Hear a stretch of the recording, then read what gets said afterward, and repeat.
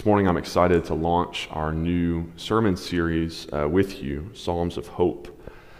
Psalms of Hope. If you've clicked on the news at any point in the last five or so months now, you might think that the world is coming to an end and that all the uh, pre tribulationists were obviously wrong because we're living through the worst of it as we speak. Now more than ever, we need hope. And for that, we need to turn to God's Word. And this morning, we begin in a rather unexpected place in the Psalms. Of all the obvious Psalms of hope that we will get to in this series, God willing, Psalm 23, the Lord is my shepherd, I shall not want. Psalm 46, God is our refuge and strength, a very present help in trouble. Psalm 91, he will command his angels concerning you to guard you in all your ways, and many other beautiful Psalms. At first glance, Psalm 13 for this morning does not seem to fit. How long, O Lord, will you forget me? Forever. Few people would characterize that as a psalm of hope. In fact, Psalm 13 has traditionally been categorized as a psalm of lament over one third of the Psalms in Scripture are laments. What is a lament? Mark Vroegop, whose recent book, Dark Clouds, Deep Mercy, Discovering the Grace of Lament, has been a huge help for understanding this idea of lament, defines lament this way. He says, Lament is a prayer in pain that leads to trust. Lament provides a pathway for being honest and processing the emotional struggles of life. It affirms talking to God about struggles, disappointments, and hurts. It gives us a biblical language that is raw and candid, a language for the land between a hard life and trusting in God's sovereignty, a prayer language for God's people as they live in a world marred by sin. It is how we talk to God about our sorrows as we renew our hope in His sovereign care. To cry is human, but to lament is Christian. And I want to show you this morning that not only is lament distinctively Christian, but it is also definitively hopeful. There is great hope in our ability to lament as God's people. As Martin Luther said, sometimes Hope despairs, and yet despair hopes. I just want to acknowledge from the outset this morning that we have a lot of folks here, maybe many of you watching us, joining us from home, who will be hearing this message today from a place of deep despair. And if you are not in that place this morning, then praise God. And you can just store this message away in the back of your mind and your heart for later because if you are blessed to live long enough, you will get there again at some point in the future. You will suffer. But for many of us, it's this morning. David's words here, How long, O Lord, feel especially personal and raw today. Some of you are trying to figure out single parenting right now while you work and now homeschool your kids. Some of you have recently lost jobs. Some of you haven't felt human touch for five months now. Some of you suffer from PTSD, from bipolar disorder, from schizophrenia, anxiety, such severe depression that you struggle to even get out of bed most days. Some of you have battled infertility for years, had multiple miscarriages, you've had stillbirths. You've lost children to rare genetic diseases and suicide. You were diagnosed with cancer and told you only had a few years to live. You've been stuck in loveless marriages for decades now. You feel totally unknown and uncared for. Caught your spouse cheating on you. You've waited for them to recover from addiction for years now to no avail. You've had loved ones in and out of prison and rehab dozens of times. You were sexually abused as a child. You were spiritually abused as an adult. you have been racially profiled, discriminated against. You've been homeless. You've been shot. You've been abandoned by a parent. And you have watched your own dying parents reject Jesus all the way to their graves, knowing that they would spend an eternity separated from God in hell forever. And that's just the edited for time and content version here at West Hills. I had to cut other examples because they were too graphic and traumatic. And I am sure that even as your pastor, I don't even know the half of it, the half of the suffering that is represented in this room and online right now. To be human is to suffer.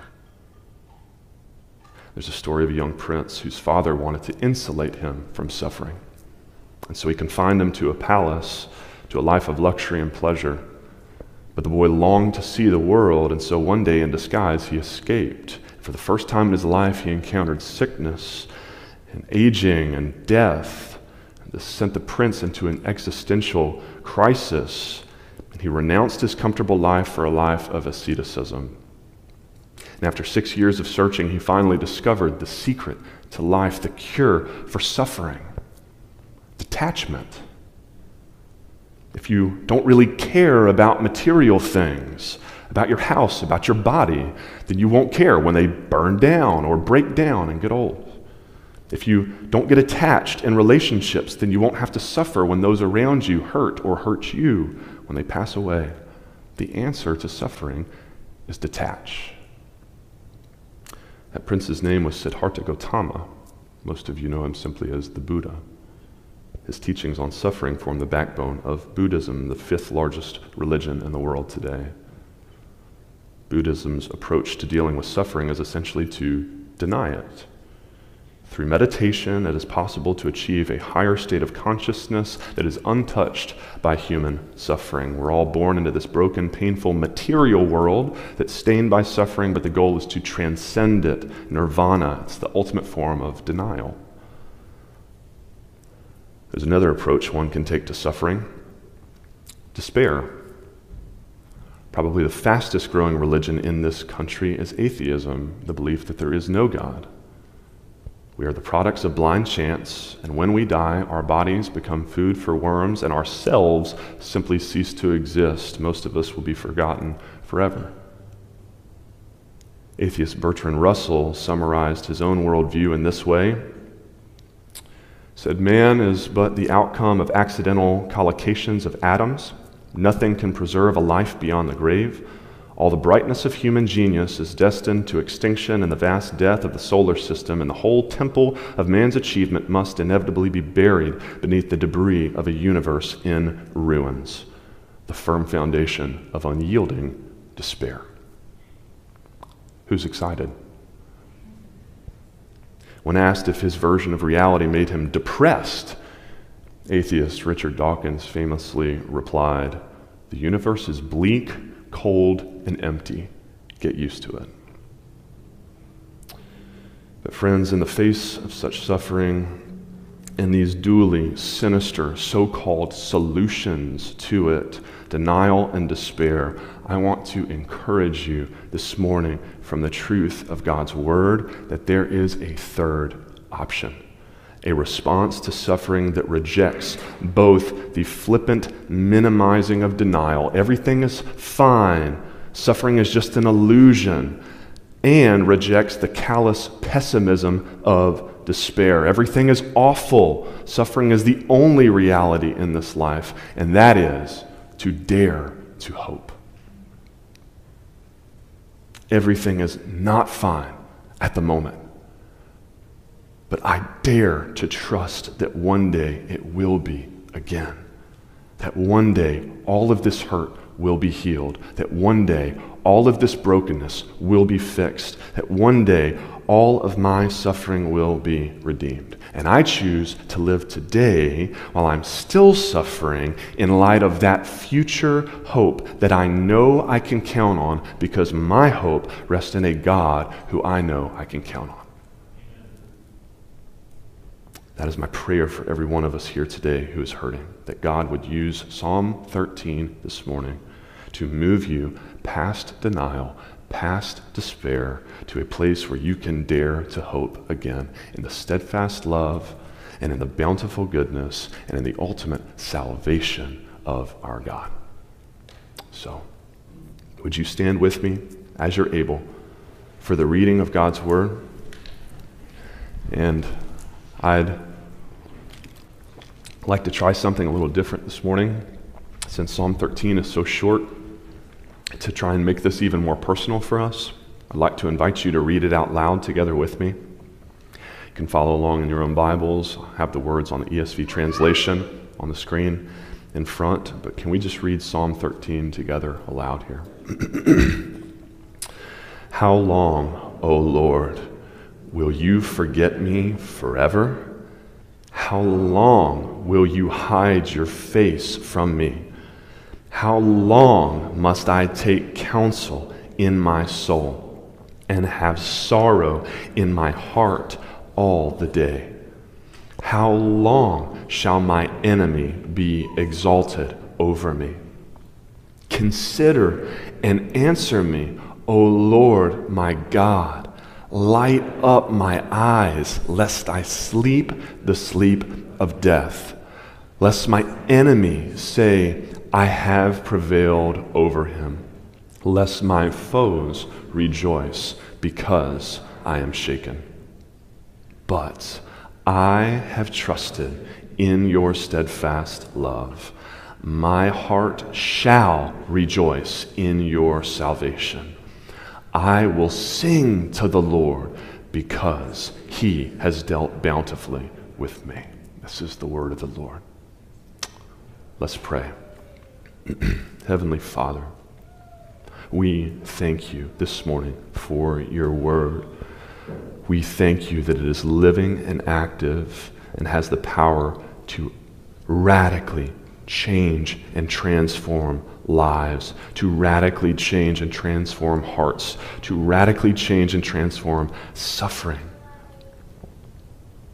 to redeem it, to use it for good. God, only you can do that. So, God, we cry out to you. We appeal to you ask you this morning, and we trust you to do it again in someone's heart this morning. In Jesus' powerful name we pray. Amen. You may be seated.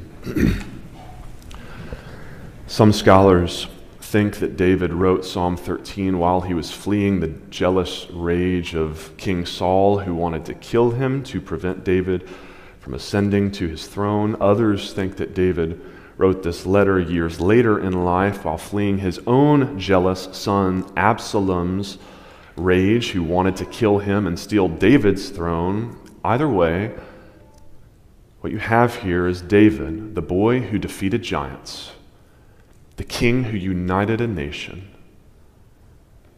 a man after God's own heart who is presently on the precipice of a pit of utter destruction. But that beautiful word in verse 5 but, but, out of his hurt and his fear, what David offers us here in these six short verses is nothing short of a blueprint for lament, the distinctively Christian response to suffering. There are three movements in a prayer of lament. Many of us are familiar with the ACTS model of prayer, ACTS, adoration, confession, thanksgiving, supplication. That is a wonderful biblical outline for prayer. But so too is the CAT prayer. That is the acronym for a prayer of lament. I'm not trying to diss felines necessarily, like cat owners need to lament although I am more of a dog person, but CAT just happened to be the best acronym here, and I trust that it'll be more memorable now. Next time you're despairing, you will think of cats and you will remember how to lament. Step one is we cry out to God. We cry out to God. Now, with each of these steps, I also want to show you why we find hope in the process of lamenting and to do that, I want to point us to two key attributes of God per step that ought to inspire great hope in us. And for step number one, crying out to God, we can find hope in that because it means God is real. God is real, He's there, He exists. Here's what I'm getting at. Where does the atheist turn when he despairs? Whom does the Buddhist beseech when she is hurting? As difficult as your circumstances and my circumstances in life may get Christian, and this is not intended to minimize or take away anything from your pain, life can be incredibly hard sometimes. Nevertheless, we can hope in the knowledge that no matter how bad it gets, at least we've got a God to complain to. And it's biblical to do so. Read the book of Job. I look back on one of the darkest periods in my own life when my father left my family. And I remember at times I was so despondent, I was so enraged at God that I would literally look up at the sky and I would raise my middle fingers as high and as close to God's face as I could get them, and I would scream obscenities. You blankety blank. How could you, God? I hate you. And years later, when I came back to the faith, I was able to appreciate a peculiar beauty in the fact that even in the midst of my hatred of God, I never could quite bring myself to disbelieve in Him. I never could quite bring myself, convince myself that God wasn't real. And I firmly believe today that most people who think they are atheists aren't really atheists at all. They just don't like the God they believe in. They innately know, as all of us do, Romans chapter 1, God's existence is undeniable. Atheists just don't like him. And now I think about David here in Psalm 13. I don't think that he, I don't think that the Holy Spirit who inspired these words of lament would necessarily advocate for us cussing God out and flipping him the bird. And yet, what I do think we find here is biblical precedent for real, honest, uncensored, vulnerable crying out to God. He's big enough to take it, He can handle it. David's words here are raw. Here is the Duval paraphrase translation of verses 1 and 2. God, have you forgotten all about me? Are you ignoring me? Have you abandoned me all on my own? Am I doomed to be depressed all day, every day, for the rest of my life? God, do you even care about my affliction? Are you ever going to make good on your promises? How long, O Lord? And God's clear answer to that question elsewhere in His Word is not long. Not long. Without minimizing our suffering, our God assures us that relatively speaking, in the grand scheme of eternity, our suffering in this life will be but a blip on the radar screen. Romans 8 18. I consider that the sufferings of this present time are not even worth comparing with the glory that is to be revealed to us. If you have it really rough in this first world country of ours, you may endure suffering for 10, 20, 30 of your 70 or 80 or 90 years on this earth. But let's just say, for the sake of argument, that you suffer all 90 plus years of your life. Now take that and stack it up and compare it against eternity. An eternal glory that is to be revealed to you if you persevere to the end, if you hold fast and firm in your faith. What's awaiting you? He will wipe away every tear from their eyes. Death will be no more. Neither shall there be mourning, nor crying, nor pain any more, for the former things have passed away. Behold, he says, I am making all things what? New. All things new. You say, well, that sounds pretty great to me. God, what are you waiting for? How long, O Lord, must I wait for all of this to be made new, for my broken marriage to be made new, for my aging body to be made new, for my failing finances to be made new. Come, Lord Jesus, come. What are you waiting on? Return and make all of this mess new already. What are you waiting on?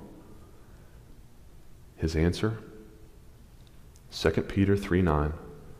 The Lord is not slow to fulfill his promise, as some count slowness, but is patient toward you, not wishing that any should perish, but that all should reach repentance.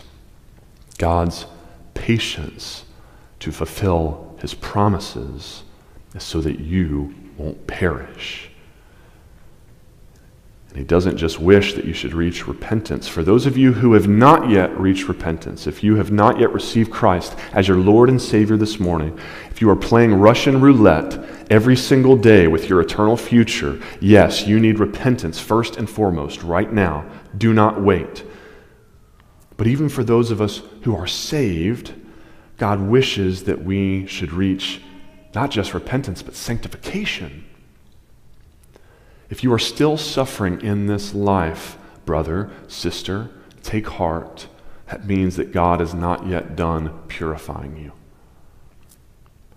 W.S. Plumer writes, reminds us, there must be a great deal of dross in even good men to make daily and long continued sorrow so necessary to their sanctification. That's a great quote. Here's another one. That is good for us, which leads us to pray. It is better to be praying in the whale's belly than asleep in the ship. Do you believe that? Do you believe that in the midst of your suffering? Can you pray like, like the Apostle Paul? I rejoice in my sufferings. Nelson Walker uses this analogy. He says a bar of steel is worth about $5. If you turn it into horseshoes, it's worth about $10. If you fashion it into needles for sewing, that's roughly $350. But if you fashion it into the delicate springs that go into fine watches, it's worth $2,500.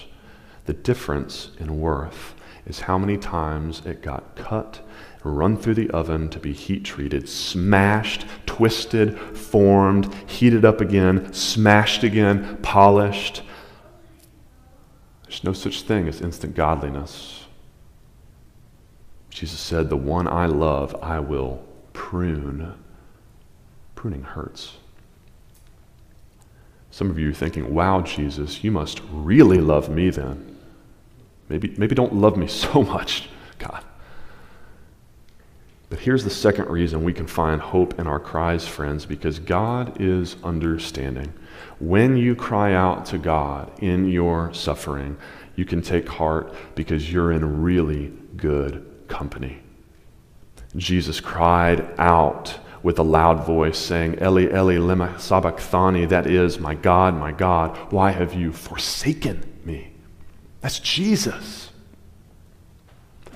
The Bible says that our suffering identifies us with Christ, the suffering servant. It unites us with him, the one who, for no good in us, but for the goodness that was in him, voluntarily stepped off of heaven's throne to come and identify with us, to unite himself to us in his suffering. We do not have a high priest, Hebrews 4:15, who is unable to sympathize with us in our weakness, but one who in every respect has been tempted as we are, yet without sin.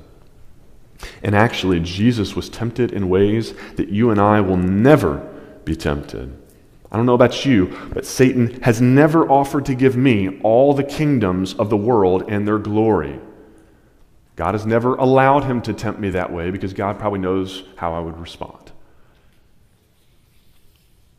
I've never been tempted as I suffered unimaginable physical agony, being flogged and nailed to a cross, and even worse, emotional and spiritual turmoil, being cut off from my perfect union with God my Father, while I bore his wrath instead, the penalty that was rightfully owed to a bunch of rebel sinners. I've never been tempted by the knowledge that at any moment, with but a word, I could call down legions of angels to turn the tables and nail my executioners to their rightful crosses instead. I've never been tempted that way. Ours is not the God of Buddhism's denial. Suffering is just an illusion. You got to rise above it. He's not the silent, non existent God of atheism's despair. He's not the God of Islam who can't even be bothered with such trivial, messy, worldly, human problems. Our God understands because our God was willing to suffer the very worst of it for us so that we could inherit all the riches of heaven in Him. Our God is real, and He knows our suffering is real because He understands it. Step number two in lament is we appeal to God. We cry out to God and then we appeal to God. We call upon Him. We petition Him. We implore Him. We plead with Him if need be. That's what David does here in verses 3 and 4. He employs three imperative verbs to beg God. He says, Consider me, answer me, light up my eyes. What do you do when you feel like God has forgotten you? Like verse 1, like God is hiding his face from you. You appeal to God and you say, Consider me, look at me, notice me and my suffering.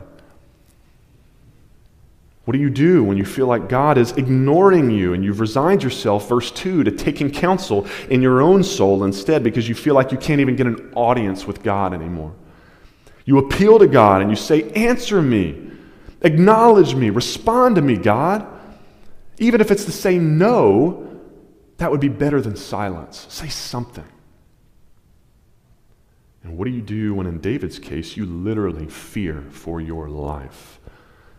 When you know that if God does not intervene, verse 3, there is an imminent threat that you may be sleeping the sleep of death soon. Or even in most of our cases, if it's a metaphorical death, a loss, an overwhelming grief what do you do?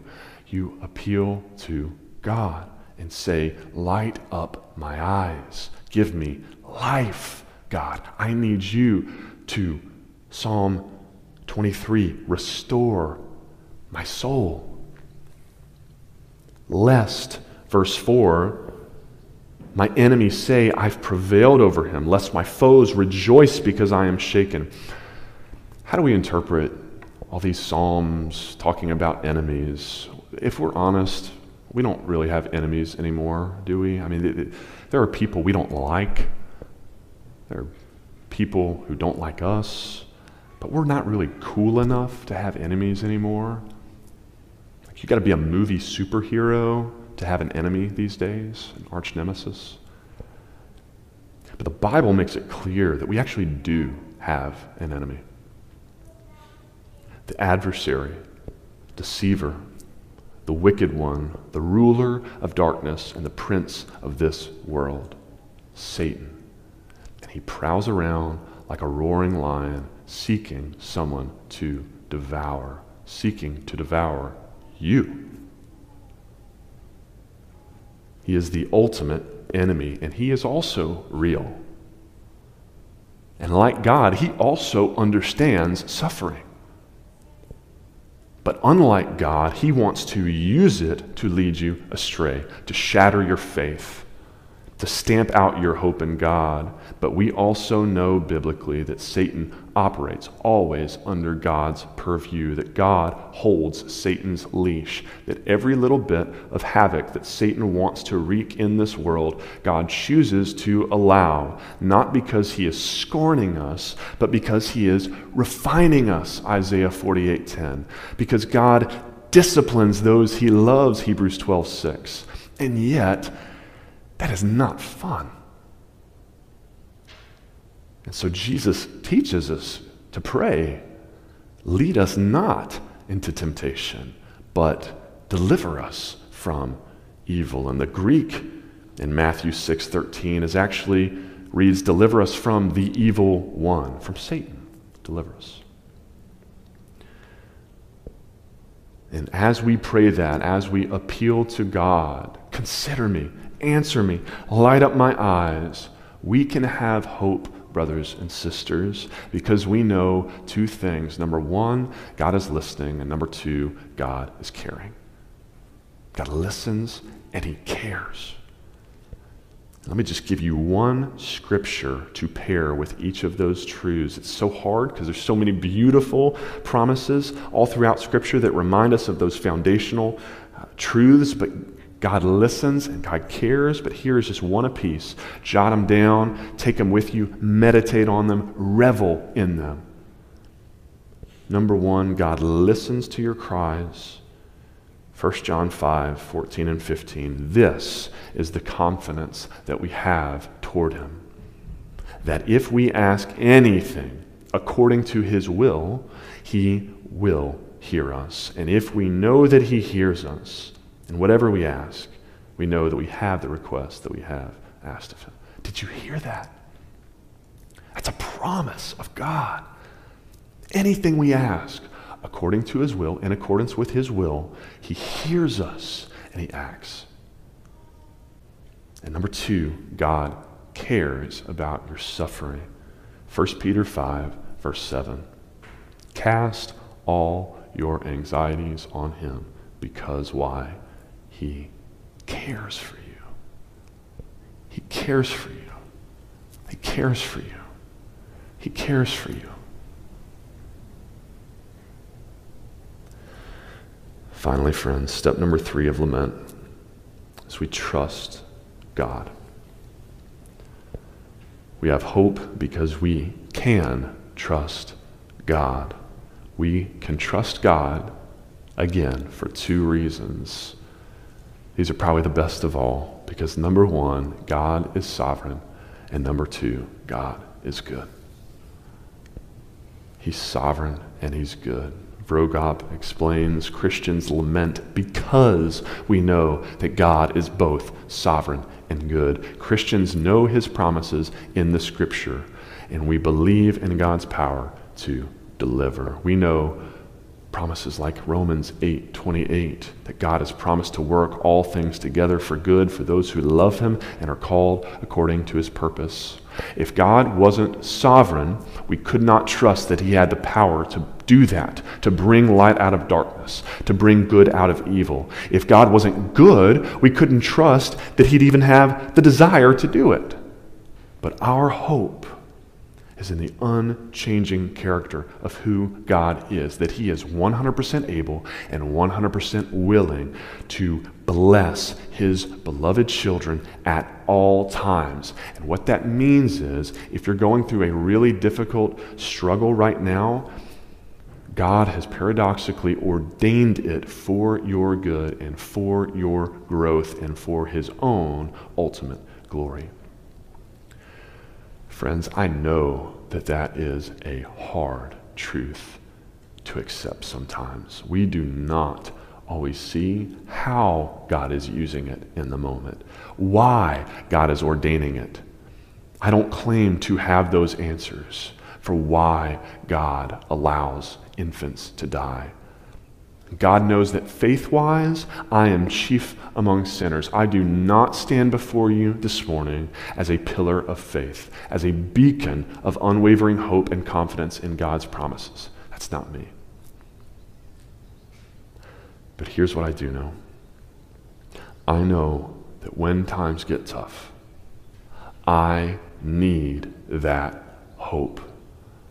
That I can put my trust in God's steadfast love. I know that when life kicks me in the teeth, I need that hope that my heart will rejoice again to see God's salvation, that He will come through. That in the darkest of nights, I have that hope that I can still sing to the Lord because I can look back and I can reflect and I can realize that He has dealt bountifully with me before in the past, that He hasn't failed me yet, and so why would I be afraid that He is going to start now? Did you catch David's intentional alternation back and forth between the past and future tenses of the verbs in verses 5 and 6? We're almost done, but, but please don't miss this. David says, I have trusted in your love, past tense, so I shall rejoice in your future salvation. I will sing to the Lord, future tense, because he has dealt bountifully with me, past tense. And here's the takeaway principle for us this morning our future hope is rooted in God's past faithfulness. Our future hope is rooted in God's past faithfulness. And so I ask you this morning, friends, what past faithfulness of God in your life? can you look back on? Can you hang your hat on? Can you rest your hope in that when times get tough again, that you know if he has proven himself to be sovereign and good and faithful before, that he will do it again. Recognize this morning that if you are a believer in Jesus Christ, if you have trusted in Jesus for your salvation, then you've already got your answer. The most dire suffering that you were facing and totally powerless over, death and hell defeated. The most desperate need in your life, forgiveness of your sin, the redemption of your soul, satisfied. And for those of you who haven't yet trusted in Him this morning, who haven't yet put all of your hope in Christ and Christ alone for this life and in the life to come, if you haven't trusted in Jesus' steadfast love, the kind of love that would die for you, the kind of rescuing love that causes hearts to rejoice in his salvation. Did you know that the Hebrew word in verse 5 for salvation is Yeshua? That's Jesus' name in Aramaic. David literally exclaims in Psalm 13, verse 5, a thousand years before Jesus is born, My heart shall rejoice in Jesus. Yeshua. Does your heart rejoice in him, friend? It can today. Trust in Jesus, and even in the midst of your suffering, watch Him. Watch Him. Turn your despair, turn your denial into a confident dare to hope again in the promises of God.